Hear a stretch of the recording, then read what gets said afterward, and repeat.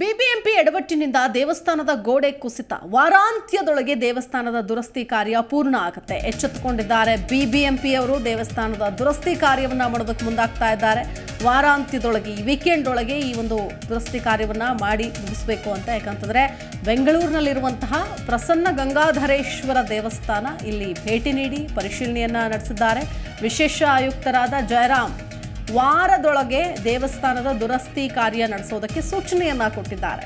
ಪಾದಚಾರಿ ಮಾರ್ಗದ ತೆರವು ಕಾರ್ಯಾಚರಣೆ ಮಾಡೋ ವೇಳೆ ಒತ್ತುವರಿ ಮಾಡಿಕೊಂಡಿರುವ ಜಾಗವನ್ನ ಗುರುತಿಸಿ ತೆರವುಗೊಳಿಸುವುದಕ್ಕೆ ಸೂಚನೆ ಕೊಡಲಾಗಿದೆ. ಮುಜರಾಯಿ ಇಲಾಖೆಯ ಸಹಯೋಗದೊಂದಿಗೆ ಒತ್ತುವರಿ ತೆರವುಗೊಳಿಸೋದಕ್ಕೆ ಪಾಲಿಕೆ ಅಧಿಕಾರಿಗಳಿಗೆ ಸೂಚನೆ ಕೊಡಲಾಗಿದೆ. ನಿನ್ನೆ ಪಾದಚಾರಿ ಮಾರ್ಗದ ಒತ್ತುವರಿ ವೇಳೆ ದೇವಾಲಯದ ಮೇಲ್ಭಾಗದ ಕೋಡೆ ಕುಸಿದು ಬಿದ್ದಿತ್ತು.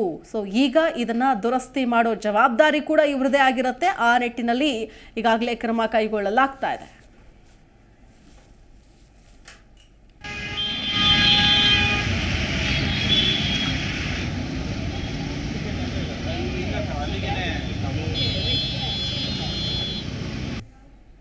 ಪ್ರತಿಕ್ಷಣದ ಸುದ್ದಿಗಾಗಿ Zee Kannada news app download ಮಾಡಿ.